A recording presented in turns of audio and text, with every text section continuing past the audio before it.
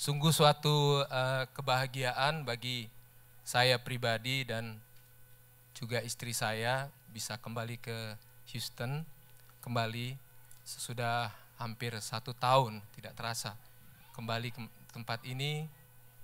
Dan uh, kami melihat kami bersuka cita melihat ketemu dengan bapak-bapak ibu sekalian teman-teman. Tentu ada banyak beberapa muka-muka baru tetapi teman-teman sahabat-sahabat saya di sini dan juga senior saya Pak Simon, Tante Mary dan teman-teman yang lain Pak David dan juga pastor kita Bu Mutia, Pak Somi dalam keadaan sungguh baik, sangat baik.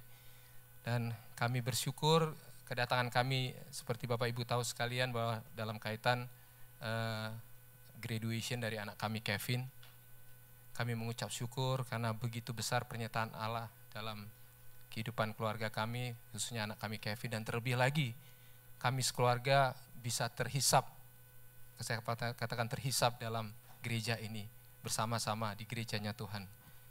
Puji Tuhan saudara-saudara.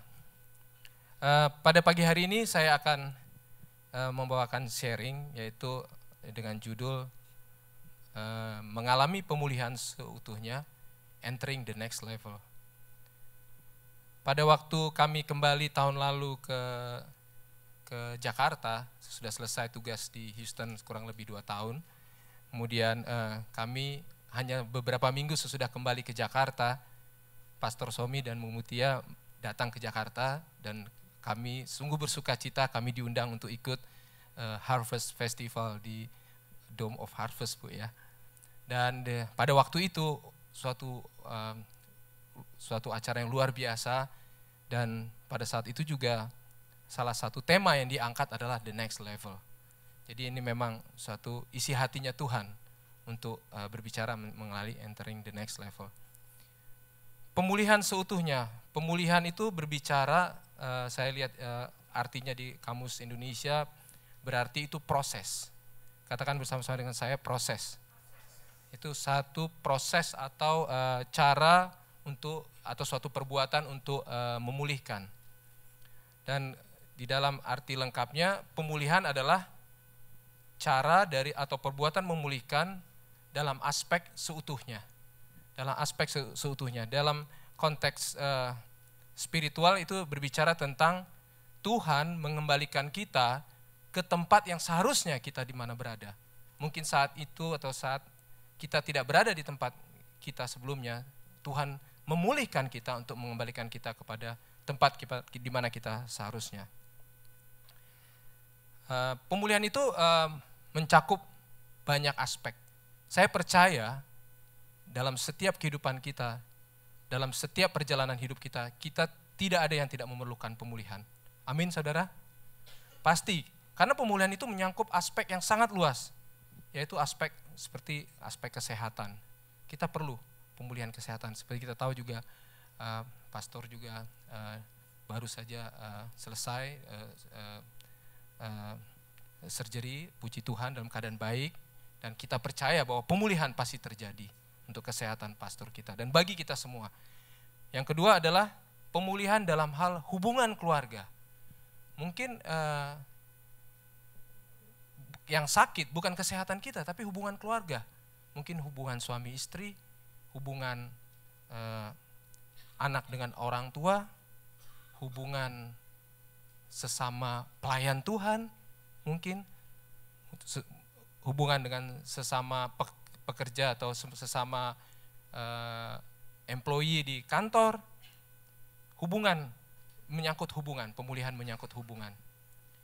Yang ketiga, mungkin kita dalam keadaan di mana yang sakit bukan kesehatan kita, bukan uh, hubungan, bukan relationship, tapi yang sakit adalah keuangan atau bisnis kita. Sehingga kita perlu pemulihan dalam bisnis keuangan, dalam bisnis dan keuangan. Dan yang terakhir, yang lebih penting, mungkin yang perlu dipulihkan ada yang sesuatu yang perlu ditempatkan pada uh, jalur yang sebagai mestinya adalah hubungan kita dengan Tuhan. Mungkin ada yang mengalami kepahitan atau mungkin marah dengan Tuhan karena merasa doanya tidak dijawab atau merasa Tuhan tidak adil uh, dengan dengan dengan dirinya. Jadi ini ada empat aspek saudara-saudara yang perlu kita alami untuk uh, kita pulihkan sebelum kita memasuki entering the next level. Nah berbicara tentang entering the next level, mungkin kita bertanya-tanya apa sih sebenarnya entering the next level bicara uh, secara uh, spiritual, maksudnya secara yang apa yang ingin Tuhan sampaikan. Yaitu di sini berbicara adalah ada dua hal saudara-saudara sekalian. Pertama, the next level berbicara penuaian jiwa besar-besaran, saudara. Penuaian jiwa besar-besaran, di mana kita disiapkan, dipersiapkan dengan pemulihan empat aspek tadi, untuk bisa melakukan penuaian besar-besaran di akhir zaman ini. Karena Tuhan itu dia sangat berkepentingan terhadap jiwa-jiwa. Itu hatinya Tuhan untuk melakukan penuaian jiwa-jiwa. Yang kedua, the next level itu bicara tentang di mana pada saat kedatangan Tuhan Yesus kedua kalinya, kita ditemukan kudus, tidak bercacat celah. Seberapa banyak dari kita yang tahu bahwa kita ini semua adalah gerejanya Tuhan. Amin ya saudara ya. Kita ini adalah bait Allah. Firman Tuhan mengatakan bahwa roh kudus berdiam di dalam kita. Sehingga kita adalah bait Allah. Jadi dua aspek tentang entering the next level. Mungkin secara dunia orang berbicara, oh Tuhan saya maunya entering the next level itu berarti salary saya naik. Next level of salary. Atau saya naik, pangkat saya naik. Atau mungkin yang student mau, saya maunya graduate. So I'm entering the the next level to be an employee, to be a, a professional. Atau yang lain bilang next level itu mungkin saya mau uh, ditambah keturunan, tambah bayi lagi. Karena saya lihat di sini IFGF luar biasa. Diberkati Tuhan dengan bayi-bayi yang baru. Itu tidak salah saudara-saudara. Tetapi itu semua adalah bonusnya. Itu hal kecil bagi Tuhan. Hal yang utama bagi Tuhan itu adalah tadi, dua hal itu tadi penuaian jiwa ya besar-besaran karena Tuhan mengasihi dunia ini. Tuhan menciptakan Tuhan itu menciptakan dunia ini, menciptakan manusia segambar dan serupa Allah sehingga Tuhan berkepentingan untuk menyelamatkan semua umat manusia. Itu yang pertama. Yang kedua, Tuhan berkepentingan pada saat dia datang kedua kalinya mendapati gerejanya yang kudus, yang tidak bercacat celah karena Tuhan kita adalah kudus. Dia perlu rekan sekerja, dia perlu companionship pada saat dia turun ke dunia ini. Siapa dari kita mau untuk menjadi rekan sekerja Tuhan? Amin, saudara ya. Jadi kalau hal-hal yang lain itu yang kita doakan itu adalah bonusnya. Bonusnya, tapi bukan itu yang terutama. Saya uh, diberkati secara luar biasa. Kami uh, setelah pindah, uh, kembali ke Jakarta, kami di sini kami melayani di gereja ini. Kami merasa ini Houston ini juga kayak second home bagi kami uh, karena banyak teman-teman dan terutama kami bergereja di sini diberkati luar biasa di gereja ini sebagai bagian dari keluarga di AFGS Houston ini. Tetapi uh, pada saat kami uh, jadi uh, pada saat kami kembali ke ke Jakarta, kami juga uh, kembali melayani di mana di tempat kami uh, sebelum melayani uh, di Houston uh, di GBI Senayan City. Jadi kami kembali uh, melayani di sana dan banyak dari leaders termasuk saya rasa wakil pastor dari gereja kami itu adalah alumni dari IFGF. Luar biasa, beri tepuk tangan buat Tuhan. Jadi uh, mereka sangat mengenal, malah uh, saat ini ada mungkin ada tiga keluarga dari kami sesama pelayan ini yang lagi di Amerika dan kita um, uh, BlackBerry Messenger satu dengan yang lain, satunya ada di lagi ada di Minneapolis dan kebetulan sangat kenal dengan dengan Pastor Somi dengan Bu Mutia ya Bu ya. Uh, namanya Jimmy Halim, bukan Jimmy Untoro Bu, Jimmy Halim. Jadi uh, dia salah satu koordinator ibadah kami. Dia juga titip pesan, saya kasih tahu juga pastor uh, dalam uh, recovery untuk ini dia bilang kami bawa dalam doa juga. Salam dia sangat kenal dengan Bu Mutia. Nah, Kemarin uh, di gereja kami uh, di di tempat kami melayani itu uh, ada Pastor Yusuf Roni yang uh, uh, uh, diundang sebagai pembicara. Mungkin kita sudah lama nggak dengar. Saya juga dulu uh, dengar uh, Tuhan yang diurapi ini secara luar biasa. Dia mengatakan dalam satu khotbahnya kemarin saya di share oleh teman saya. Dia berkata bahwa sebenarnya kita sedang melalui masalah atau pergumulan karena pada akhirnya kita menuju kepada tujuan hidup sesuai dengan rencana dan kehendak Tuhan. Jadi apa yang kita alami ini adalah sesuatu yang uh, mengarah suatu proses untuk mengalami entering next level menuju apa yang menjadi kehendak Tuhan. Kita akan baca firman uh, Tuhan dari Roma 8 ayat 28 sampai 30.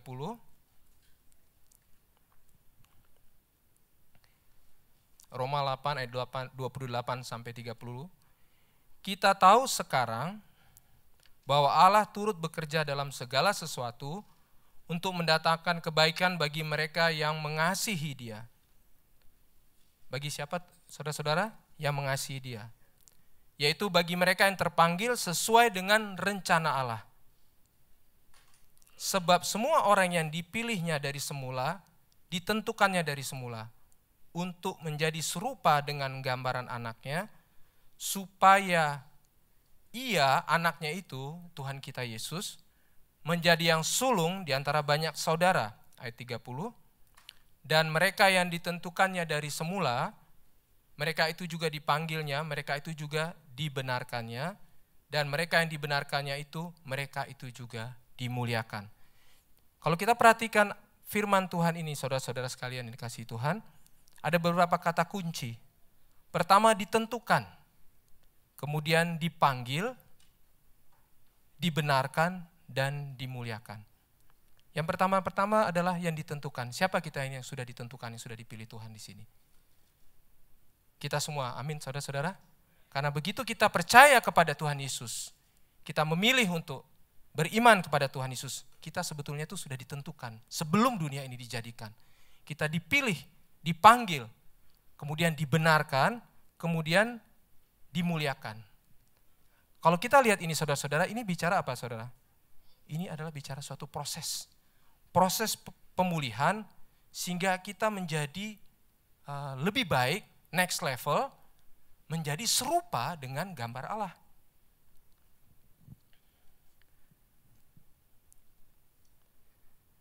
Jadi pemulihan itu adalah suatu, seperti saya ulangi lagi, pemulihan itu adalah suatu pengembalian atau mengembalikan tempat posisi di mana sebenarnya manusia itu seharusnya berada, yaitu kita berada di mana kita segambar dengan dan serupa dengan gambar Tuhan kita sendiri. Kejadian 1 ayat 26 di mana hal ini Tuhan Yesus adalah yang surun.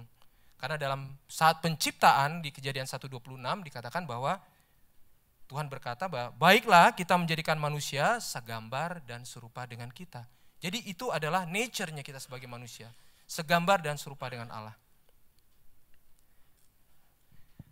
Berbicara dengan eh, soal proses, proses itu sering kali tidak enak saudara-saudara. Di proses itu sering kali itu konotasinya memang tidak enak gitu. Dimurnikan, diproses. Dan itu banyak kali orang tidak tahan di proses itu. Banyak kali orang tidak tahan. Tapi saya percaya kalau kita mengerti apa yang Tuhan inginkan dalam setiap proses itu untuk menjadikan kita lebih baik, kita entering the next level, kita akan menjadi pemenang, kita menjadi menunjukkan gambar dan rupa Allah. Daud, dia mengalami banyak proses dalam hidupnya. Dan dia mengatakan di Mazmur 103 ayat 2 sampai 5, firman Tuhan mengatakan, Pujilah Tuhan, hai jiwaku, dan janganlah lupakan segala kebaikannya. Dia yang mengampuni segala kesalahanmu, yang menyembuhkan segala penyakitmu. Ayat yang keempat, dia yang menebus hidupmu dari lubang kubur, yang memahkotai engkau dengan kasih setia dan rahmat. Ayat yang kelima, dia yang memuaskan hasratmu dengan kebaikan sehingga masamu, masa mudamu menjadi baru seperti pada burung Raja Wali. So that your youth is renewed like the eagles. Saudara-saudara sekalian, burung Raja Wali ini sering kali umat Tuhan itu digambarkan sebagai burung Raja Wali.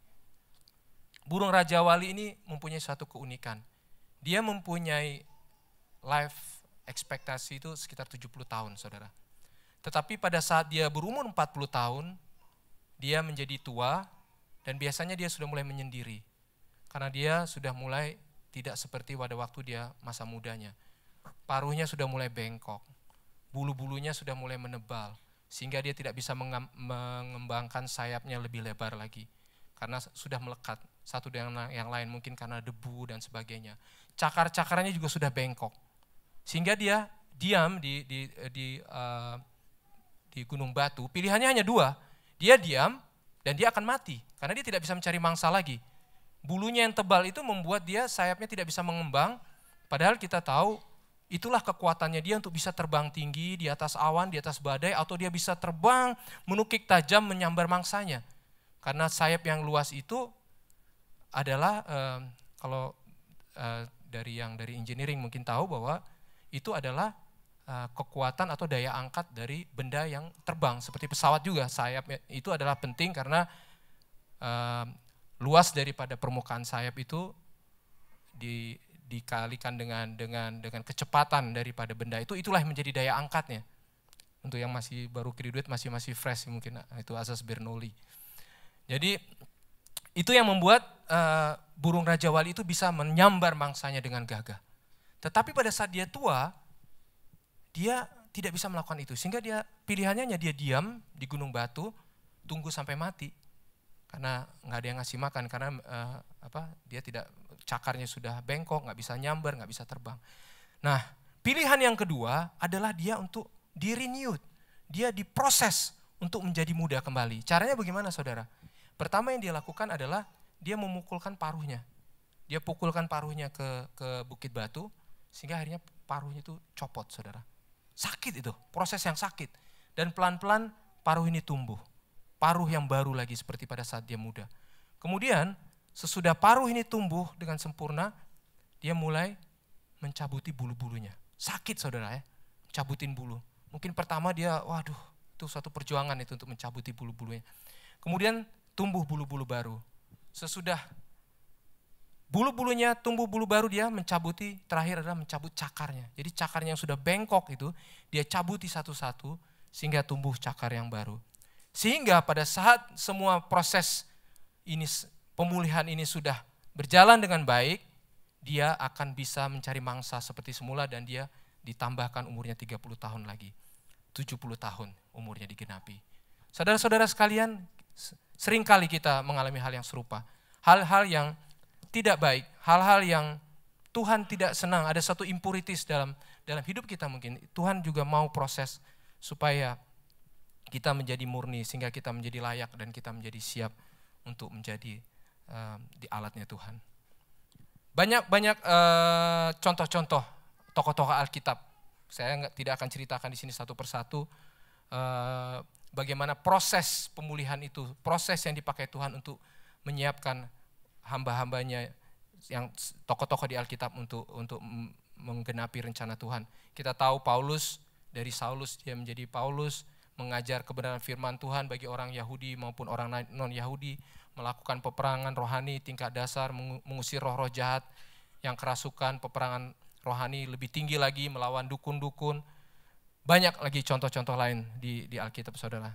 Juga termasuk Yunus mungkin karena kita yang uh, apa uh, dari sekolah minggu kita tahu bagaimana Yunus yang tidak mau menuruti perintah Tuhan Allah untuk ke Niniwe, dia malah pilih ke Tarsis, dimakan ikan, makan ikan sehingga di dalam ikan perut ikan dia bertobat sehingga Tuhan memerintahkan ikan untuk memuntahkan lagi ke darat. Untung dia bertobat saudara.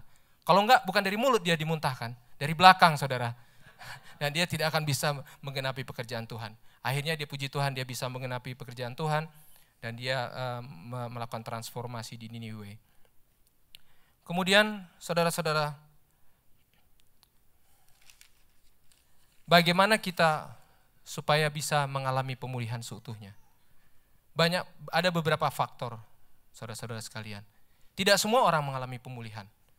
Yang pertama adalah jelas kita uh, mempunyai fokus yang benar. Seperti saya jelaskan tadi, fokus Tuhan itu harus menjadi fokus kita.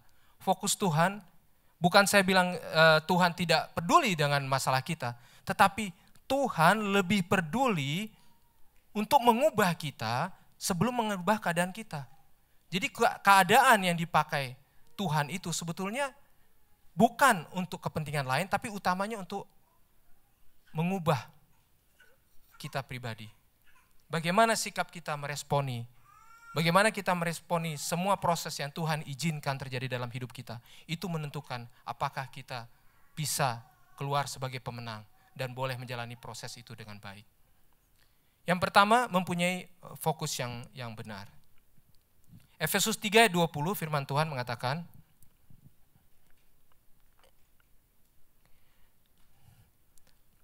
Bagi dialah yang dapat melakukan jauh lebih banyak daripada yang kita doakan atau pikirkan, seperti yang ternyata dari kuasa yang bekerja di dalam kita.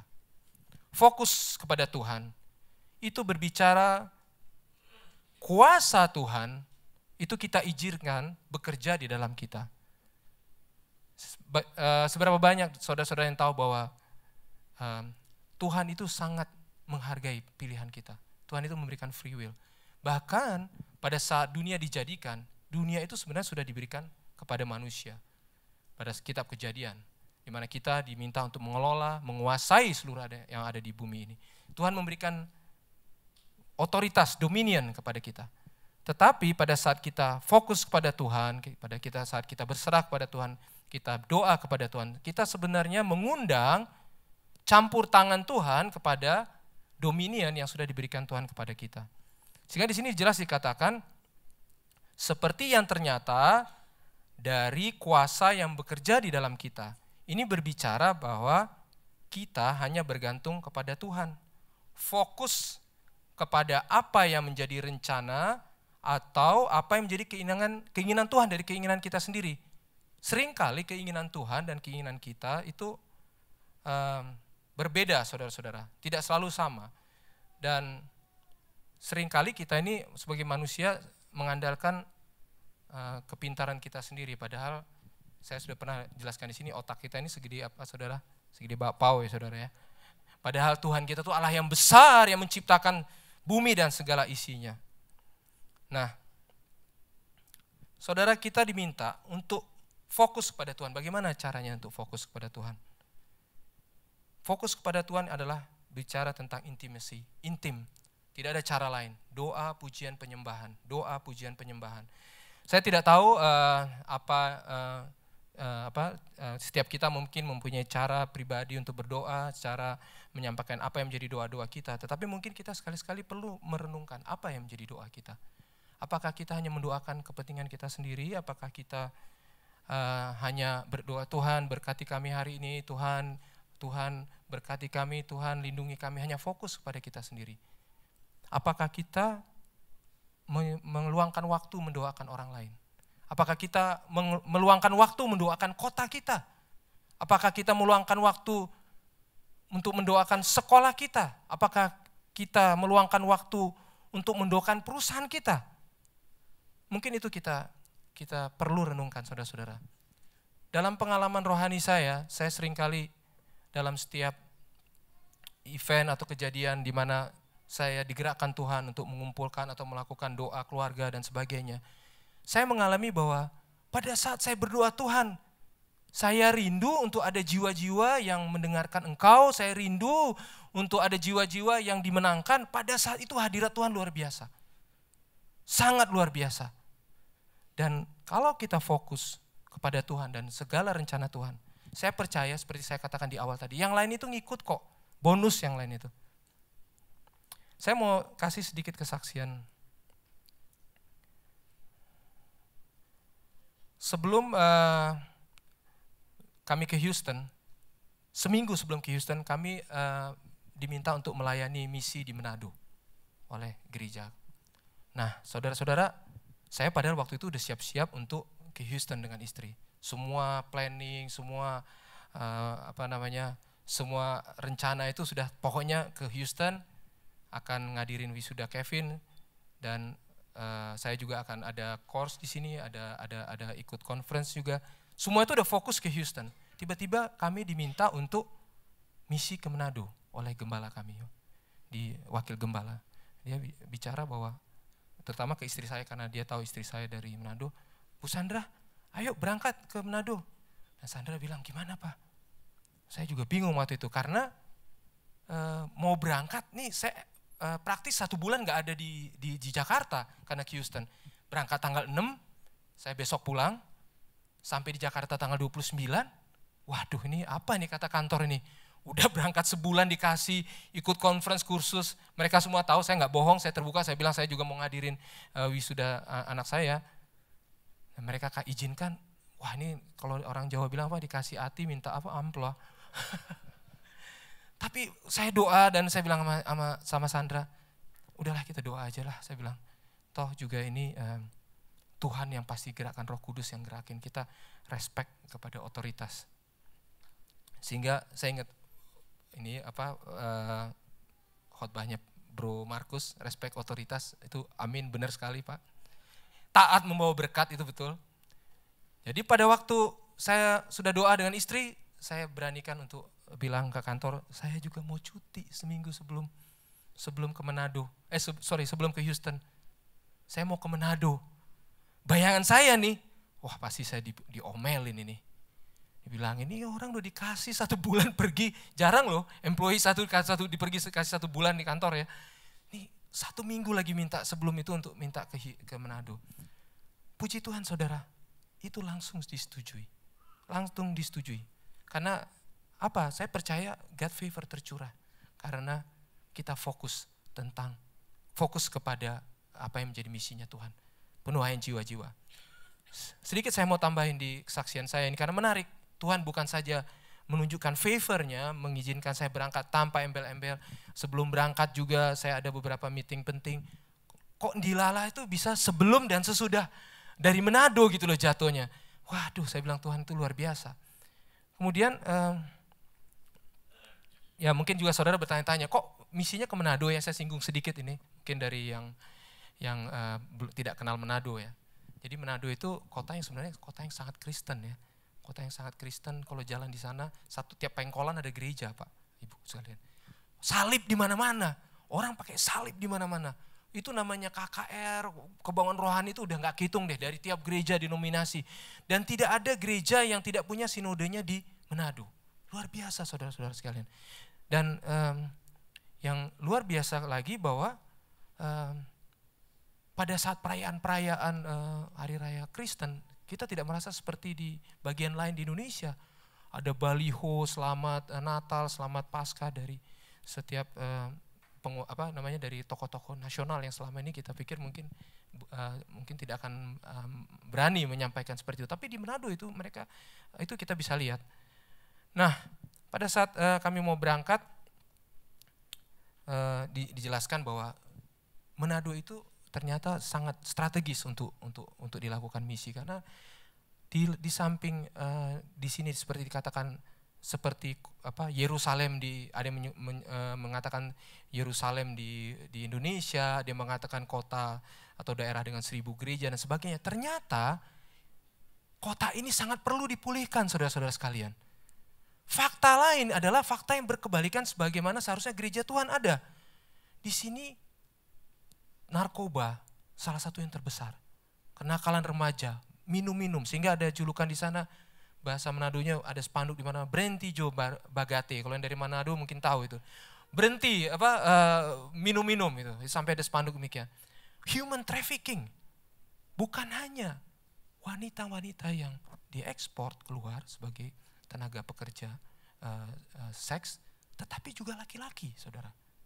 Jadi sungguh mengerikan dan juga uh, kami juga mendapatkan data dari tim kami yang yang mengupdate kami sebelum berangkat juga gereja yang bukan menyembah Tuhan juga di sana berkembang dengan salah satu yang terbesar di dunia malah dan banyak hal yang tidak baik sehingga uh, waktu kami mau berangkat juga dikatakan wah jangan main-main uh, gereja ke Manado itu harus harus disiapkan. Jadi bukan hal yang kebetulan kami uh, di, dikirim ke, ke Manado waktu itu. Hal yang kedua saudara-saudara, yang kita perlu untuk mengalami pemulihan seutuhnya adalah kita harus penuh dengan roh kudus. Mengalami kepenuhan roh kudus. Di kisah 1 ayat 8 dikatakan bahwa tetapi kamu akan menerima kuasa kalau roh kudus turun ke atas kamu dan kamu akan menjadi saksiku di Yerusalem dan di seluruh Yudea dan Samaria sampai ke ujung bumi. Saudara-saudara, pada saat firman ini mengatakan bahwa pada saat Roh Kudus turun, kita menerima kuasa, saudara-saudara. Dan kita menjadi saksinya di Yerusalem, Yudea, Samaria dan ke ujung bumi. Ini berbicara luas cakupan daerah, saudara-saudara. Yerusalem itu kotanya uh, uh, apa, berbicara tentang kita menerima kuasa dalam lingkupan yang lebih kecil, Yudea lebih luas lagi, Samaria lebih luas lagi, dan ke ujung-ujung bumi. Ini bicara kita mengenai proses dan uh, uh, entering next level. Setia kepada perkara kecil diberikan perkara yang besar. Pada saat pencurahan Roh Kudus, kenapa ini penting saudara-saudara untuk uh, penuaian jiwa? Karena salah satu tanda daripada tanda-tanda pencurahan Roh Kudus adalah pasti di daerah-daerah itu terjadi penuaian besar-besaran, terjadi pertobatan besar-besaran, terjadi um, kesembuhan besar-besaran, terjadi penuaian jiwa besar-besaran. Banyak tempat kita bicara, uh, belajar dari abad 20 ini begitu banyak tempat-tempat di dunia ini di mana pada saat Roh Kudus itu, itu dicurahkan. Kita bicara seperti di Wales tahun 1920, 20-an kalau tidak salah di Azusa Street dan sebagainya. Pada saat kami pelayanan di di Manado juga kami berkesempatan ke satu gereja, uh, gereja Minahasa, Kristen Minahasa uh, persisnya saya, namanya saya lupa di Langwan, di mana di situ juga mereka ternyata mengalami penuaian jiwa besar-besaran pada saat pencurahan Roh Kudus. Kebetulan pada waktu kami di sana ada seorang oma yang umurnya sekitar 85 tahun lebih mungkin, saya lupa uh, persisnya. Tapi saudara-saudara kalau saudara lihat dia, dia itu segar sekali, seperti orang uh, umur 60 tahun, dan dia menceritakan kepada kami pada waktu itu, pada saat mengunjungi gereja itu, apa yang terjadi pada waktu pencurahan roh kudus terjadi di Langwan itu. Dan seperti saudara tahu bahwa dari Pentakosta di Indonesia itu gerakannya juga bermula dari Langwan ini. Dan banyak dari Langwan ini juga uh, orang-orang Minasa yang tinggal di, di, di Amerika sekarang. Saudara-saudara, dia bercerita pada waktu itu mereka di sawah tiba-tiba, waduh, pengen ke gereja, dilawat secara luar biasa. Kepenuhan roh kudus, mereka nangis, datang ke gereja, mereka beribadah itu sudah nggak lihat waktu saudara.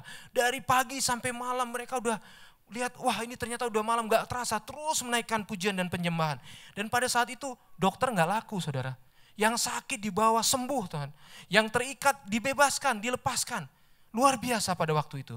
Dan dia bercerita pada waktu itu uh, orang di sana unity bersama-sama. Tidak kenal di sana sama-sama datang saling menolong saling Betul-betul suasana surgawi terjadi di situ dan terjadi pertobatan luar biasa. Terjadi penuaian jiwa besar-besaran. Saudara-saudara, saya uh, kita uh, uh, seminggu yang lalu memperingati uh, kita tahu bahwa hari pencurahan Roh Kudus, hari Pentakosta. 10 hari sesudah uh, Tuhan Yesus terangkat, murid-muridnya duduk bersama-sama di upper room dan mereka menanti-nantikan karena Roh Kudus ini adalah pribadi Allah sendiri yang dijanjikan Tuhan Yesus menjadi roh penghibur, roh yang menguatkan, roh yang adalah Tuhan sendiri yang menyertai mereka. Dan 10 hari kemudian um, mereka dipenuhi oleh Roh Kudus. Kalau kita lihat di kisah 2, ya, kita mungkin tidak usah baca, tapi uh, di situ bicara bahwa kisah 2 ayat 1 sampai 4 bahwa turun lidah-lidah api dan semua orang berbahasa bahasa yang baru, bahasa yang uh, dari Tuhan. Pencurahan Roh Kudus itu salah satu tandanya adalah dengan dipenuhi Roh Kudus. Nah, pada saat uh, kami ke, uh, eh, kembali ke ke Jakarta tahun lalu juga kemudian bulan Septembernya dengan seizin Tuhan juga kami uh, uh, datang ke uh, tanah perjanjian ke Israel dan ini juga nggak rencana. Jadi lagi-lagi taat, taat itu membawa berkat. Ada yang bilang taat itu jadi gitu ya. Jadi waktu itu juga seperti sama ketua ada ada hamba Tuhan yang di, di gereja kami bilang salah satu pastor kami bilang Pak Devi uh, udah pernah ke Israel belum? Saya bilang belum Pak. Ayo berangkat dong katanya. Terus uh, saya sama istri mikir ah nggak usah lah kita kan baru pulang dari dari Israel eh sorry dari Houston maksudnya ini udah mau berangkat lagi dan tapi kemudian kami mengambil sikap hati untuk taat saudara sehingga uh, kami boleh um, datang uh, ke ke Israel. Saya mengencourage Bapak Ibu sekalian yang belum pernah di sini untuk datang ke Israel. Amin ya Pak David ya. Next one, puji Tuhan. Karena apa saudara? Pada saat Anda datang ke Israel, there is no place in this world like the Holy Land, like the Promised Land. Saya saya mungkin belum ke, ke seluruh bagian dunia, tapi cukup banyaklah bagian dunia yang saya sudah Tuhan izinkan saya datangi. Itu lain saudara bukan masalah kesenangan, tapi bagaimana saudara melihat seperti melihat Alkitab yang hidup. Saudara melihat di mana uh, umpamanya dari pohon Sakius naik pohon ara umpamanya sampai di mana pada saat Tuhan Yesus uh, berjalan di tanah uh, di, di jalanan dalam di Via Dolorosa ada 14 perhentian sebelum dia disalibkan di mana uh, kita juga bisa berlayar di Danau Tiberias di mana Tuhan Yesus banyak sekali mengadakan mujizat di tempat itu.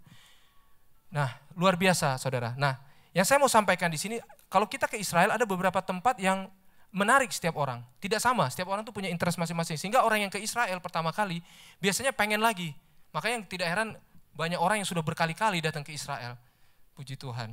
Nah, di situ tempat yang saya saya saya sangat tertarik bagi saya itu adalah salah satu yang membuat saya juga rindu ingin kembali adalah upper room di mana pertama kali Roh Kudus dicurahkan. Tempatnya tidak begitu besar, saudara-saudara, memang ada di lantai dua dan kita harus bergantian naik satu ruangan yang apa bangunan tua uh, ya bayangkan sudah umur 2000 tahun dan pada waktu kami menaikkan pujian penyembahan di situ saudara saya mengalami suatu mengalami hadirat Tuhan pencurahan Roh Kudus hadirat Roh Kudus yang belum pernah saya alami di mana pun luar biasa saudara saudara saya rindu saudara semua untuk mengalaminya jadi uh, saudara kita harus penuh Roh Kudus kembali lagi kita harus mengalami kepenuhan Roh Kudus. Karena Roh Kudus itulah yang memampukan kita untuk melakukan apa yang Tuhan ingin lakukan dalam hidup ini selama kita hidup ini. Yang ketujuh saudara, maksud saya yang ketiga, untuk kita boleh mengalami pemulihan dan entering the next level adalah kita dipenuhi oleh firman Tuhan. Mungkin saya, mungkin banyak saya atau banyak hamba Tuhan nggak bosan-bosan dibilang bahwa ayo, ayo baca firman Tuhan, baca firman Tuhan, baca dan renungkan. Sehingga firman Tuhan itu menjadi rema dan logos. Kenapa saudara-saudara? Tuhan Yesus sendiri pada saat dia dicobain, pada saat dia sudah puasa 40 hari dan dia dicobai, dia mengalahkan iblis. Karena dia dipenuhi roh kudus dan dia menggunakan firman. Ada tertulis, manusia tidak hidup dari tidak hanya hidup dengan roti, tapi hidup dari firman Tuhan yang keluar daripada mulut Allah. Janganlah cobai Tuhan Allahmu. Itu firman yang keluar dari Tuhan Yesus. Sehingga pada satu itu iblis mundur. Saudara-saudara, sebelum kita ikut dalam rencana Tuhan, kita harus mempunyai hidup yang berkemenangan. Kita harus dipenuhi oleh firman Tuhan. Saya uh, tidak tahu uh, setiap orang mungkin uh, mempunyai kebiasaan yang berbeda-beda ya mengenai mengenai uh, bagaimana cara uh, mem, apa, membaca firman Tuhan. Tetapi kalau saya pribadi itu setiap hari saya saya rutin minimal satu pasal. Satu pasal rutin. Kemudian uh, saya baca uh, Amsal. Kalau saudara perhatikan Amsal itu 31 ayat. Jadi cocok gitu kalau tanggal 25 buka tanggal 25. Saya ngajarin juga hamba Tuhan. Jadi kalau tanggal 17 buka tanggal 17 dan luar biasa tuntunan Tuhan mengenai Amsal itu betul-betul menuntun kita dalam eh, itu eh, apa namanya sangat praktis untuk banyak hal yang praktis yang Tuhan ingatkan melalui Amsal. Kemudian eh, baru saya baca biasanya satu ayat uh, satu uh, bukan satu uh, pasal tapi satu perikop tentang kehidupan Tuhan Yesus. Saya uh, ingin uh, lebih lagi disegarkan dengan apa yang Tuhan Yesus selama lakukan selama di dunia. Saudara-saudara uh, berbicara soal penuaian besar-besaran.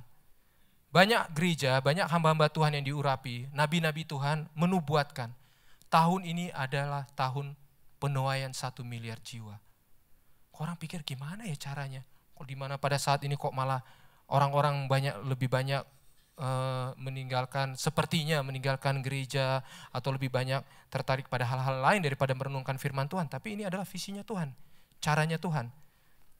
Bob Jones, seorang hamba Tuhan yang begitu mengasihi Tuhan, baru-baru ini dia bermimpi, saudara-saudara sekalian. Dia bermimpi tiba-tiba uh, kalau saya sedikit uh, jelaskan sebenarnya Bob Jones ini dia ini adalah satu nabi Tuhan yang begitu banyak selama 30 tahun uh, memprofesai memberikan uh, uh, apa hal hal-hal yang profetik yang yang yang terjadi baik mengenai gempa bumi, bencana alam dan dia banyak profesai uh, uh, uh, hamba Tuhan ini. Nah, Bob John bermimpi baru ini dia dia katakan bahwa dia bermimpi anak-anak muda datang kepada, kepadanya, kemudian beliau mengarahkan mereka ke arah rak yang ada Alkitab besar di situ. Kemudian Bob Jones ini meminta anak-anak muda itu membaca Alkitab. membaca firman Tuhan. Saudara-saudara dia berkata seperti ini. Akan terjadi penuaian satu miliar jiwa yang akan didominasi oleh anak-anak muda. Saudara-saudara, anak-anak muda, Anda dengar ini? Anak-anak muda akan dipakai secara luar biasa. Gereja kami di di Jakarta itu uh, bisa dikatakan gereja yang pengerjanya dominasi anak muda. Jadi kalau ada apa namanya, uh, kalau dibikin statistiknya, itu minnya itu anak-anak muda, umur-umur di bawah 35 tahun. Memang banyak juga yang sudah tua seperti saya, kelihatannya, tapi jiwanya masih muda. Dan uh, kami juga ada dan ada yang di uh, yang yang uh, uh, yang lebih muda dari mungkin uh, masih teenager juga ada yang melayani uh, youth yang melayani uh, God of, of uh, uh, uh, uh, apa namanya uh, anak, uh, melayani sekolah minggu. Tetapi dominasinya anak-anak muda. Bahkan pastor kami juga di sana itu uh, belum berumur 40 tahun. Wakil pastor ada yang sudah 40-an tapi uh, pastor kami belum berumur 40 tahun.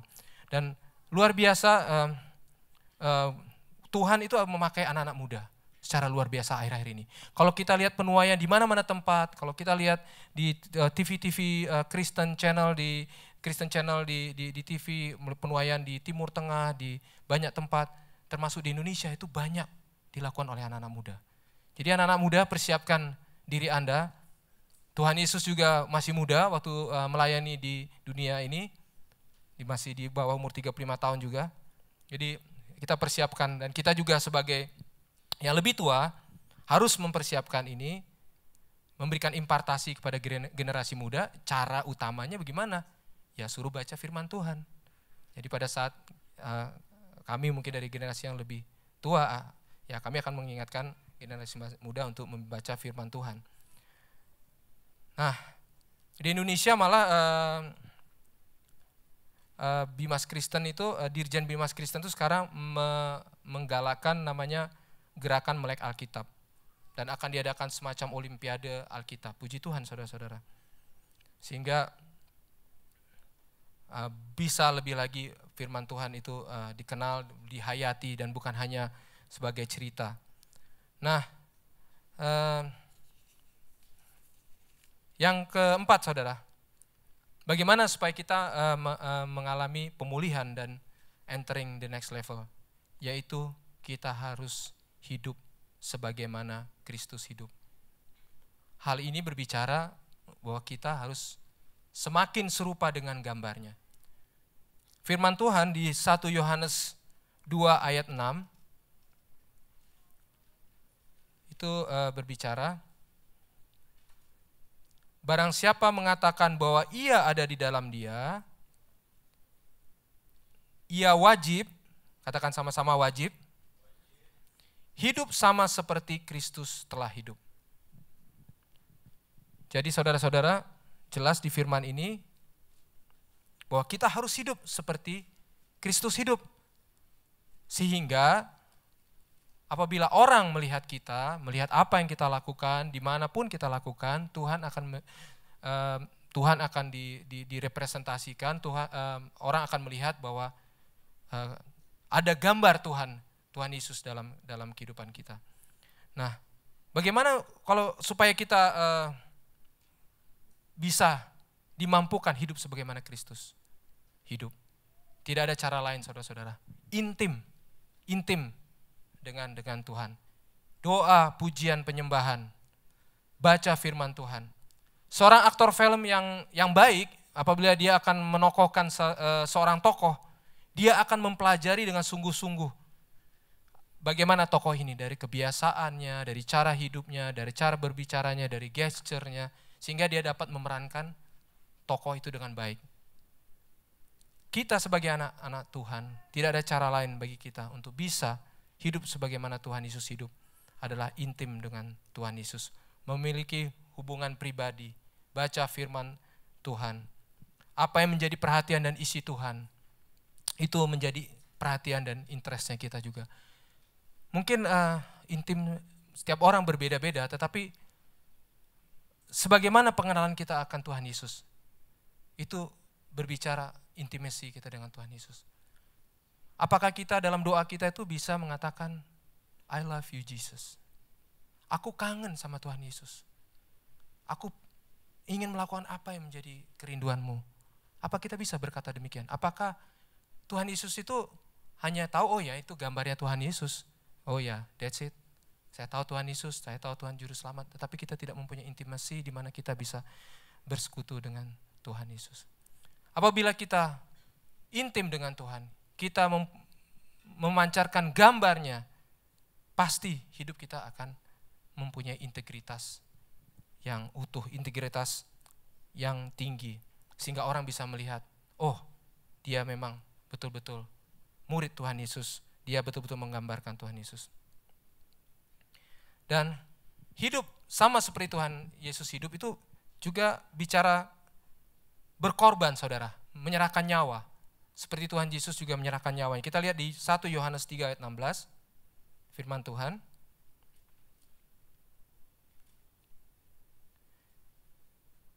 Demikianlah kita ketahui, yakni bahwa ia telah menyerahkan nyawanya untuk kita. Jadi kita pun wajib, katakan saudara-saudara wajib, menyerahkan nyawa kita untuk saudara-saudara kita. Amin saudara? Mikir ya saudara ya. Saya juga mikir waktu pertama kali disampaikan, wah maksudnya apa nih menyerahkan nyawa untuk saudara-saudara kita? Karena Tuhan Yesus juga melakukan demikian. Ternyata yang dimasukkan di sini adalah hal ini berbicara keberanian kita untuk menginjili, untuk melakukan misi, dan tidak menyayangkan jiwa kita. Amin saudara-saudara. Karena barang siapa yang menyayangkan nyawanya, dia akan kehilangan nyawanya. Tapi barang siapa yang menyerahkannya untuk pekerjaan Tuhan, Tuhan justru memberikan kehidupan dan kehidupan yang kekal. Amin saudara. Yang kelima, bagaimana kita untuk bisa mengalami pemulihan dan entering the next level. Muliakanlah Tuhan dengan segala hartamu. Amsal 3 ayat 9 mengatakan, muliakanlah Tuhan dengan hartamu dengan dan dengan hasil pertama dari segala penghasilanmu. Jelas saudara ya? Muliakanlah Tuhan dengan hartamu dan dengan hasil pertama dari segala penghasilanmu. Semua milik Tuhan itu semua yang Tuhan percayakan kepada kita itu adalah milik Tuhan. Kalau kita ngembaliin perpuluhan, sebenarnya kita belum memberi apa-apa loh saudara. Perpuluhan itu haknya Tuhan. Memang itu bagiannya Tuhan yang harus kita kembalikan. Tetapi di sini kita diminta untuk memuliakanlah Tuhan dengan hartamu dan dengan hasil pertama dari segala penghasilanmu.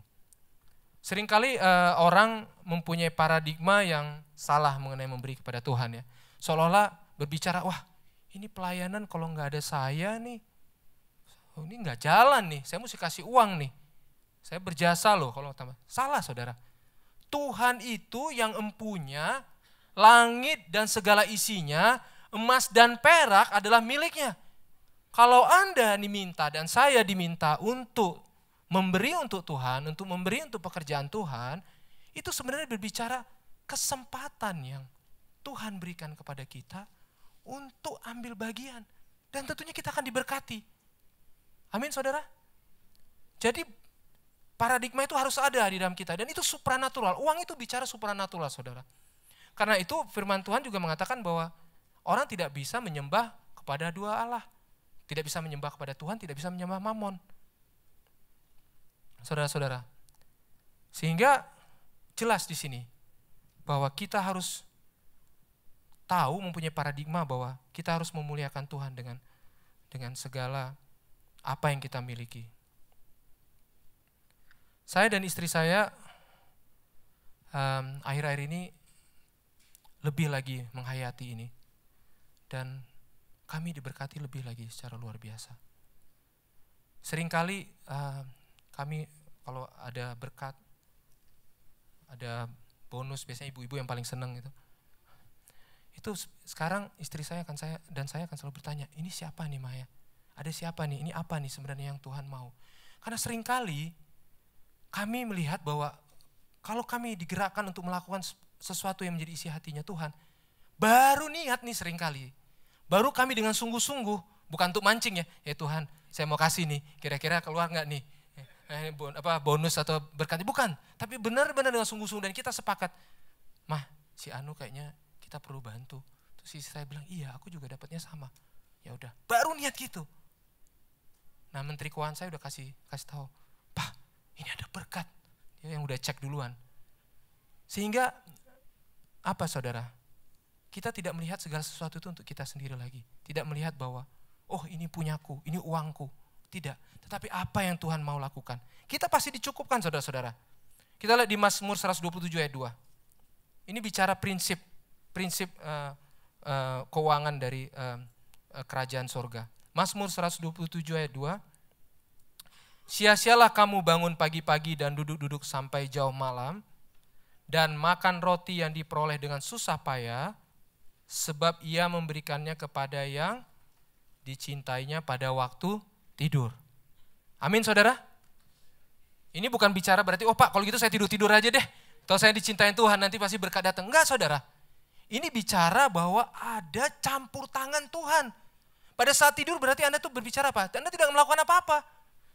Pada saat Anda tidur, itu bicara pada saat Anda lepas. Orang tidur kan nggak mungkin dong mikirin kerja, namanya juga tidur. Tidak mungkin umpamanya saya kerja sambil tidur gitu umpamanya. Saya kerja di mana? Saya kerja di um, di pabrik umpamanya. Wah sambil kerja saya saya tidur. Enggak saudara. Pada saat saya tidur saya tidak melakukan apa. Tuhan yang bekerja. Tuhan yang mengirimkan berkat.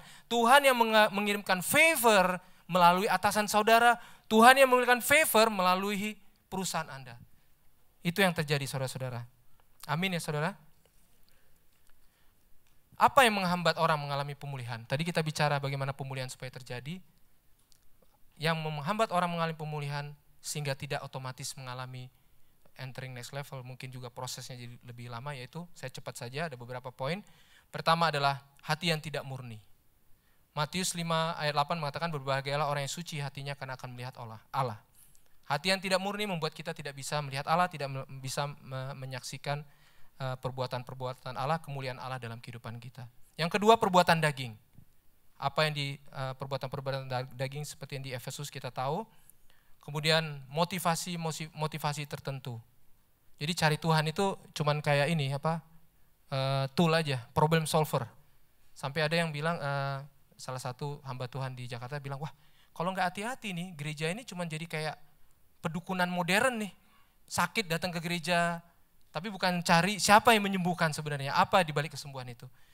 Kemudian takut, takut e, untuk melakukan kehendak Tuhan. Kemudian kebenaran diri sendiri, selalu merasa benar, sehingga kalau ada visi dari gereja ataupun ada hal-hal yang yang yang menyangkut kebenaran itu selalu e, mencari-cari, bersilat kata dan sebagainya, menyebabkan deki, cindera, fitnah dan curiga. Itu yang saudara-saudara yang yang uh, menghambat kita untuk tidak mengalami entering next level. Sebagai uh, kesimpulan saudara, sekarang kita mengetahui kenapa kita dipulihkan. Amin saudara. Kita dipulihkan kesehatan kita karena Tuhan mau dengan tubuh jiwa dan kita ini dengan tubuh yang sehat kita memuliakan Tuhan. Kita menjalani misi ke mana-mana tempat. Kita butuh fisik saudara-saudara. Fisik yang kuat untuk melayani Tuhan. Punya fisik yang baik untuk bisa datang ke doa, udah, datang ke ke care group, datang ke perkumpulan-perkumpulan uh, uh, anak-anak Tuhan. Kemudian kita mengerti sekarang bahwa kita perlu dipulihkan dari dalam hal bisnis dan keuangan kita untuk kita menjadi saluran berkat. Kita membiayai pekerjaan-pekerjaan Tuhan. Pekerjaan Tuhan itu memperlu, mem, membutuhkan biaya, saudara-saudara. Kemarin itu baru di Jakarta ada satu event uh, apa uh, unit unit gereja unity session church unity session apa unity gereja unity uh, satu uh, event besar. Dan luar biasa ada hamba Tuhan yang yang digerakkan untuk membiayai seluruh event itu. Dan dia merasa diberkati dia membiayai seluruh event dari sewa stadion dan sebagainya. Dan nah mungkin kita belum seperti itu tapi kita bisa melakukan hal yang kecil. Mungkin kita ada satu event yang sepertinya menarik dan ada satu biaya yang perlu keluar, kita tergerak. Percayalah itu roh kudus yang menggerakkan saudara-saudara dan saya untuk boleh membiayai itu.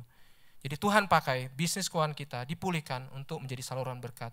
Kemudian hubungan keluarga, suami istri, anak dan orang tua, sesama itu bicara tentang uh, berkat unity yang dicurahkan Tuhan. Karena di mana ada kesatuan hati, di mana ada unity, di situ Tuhan memberkati.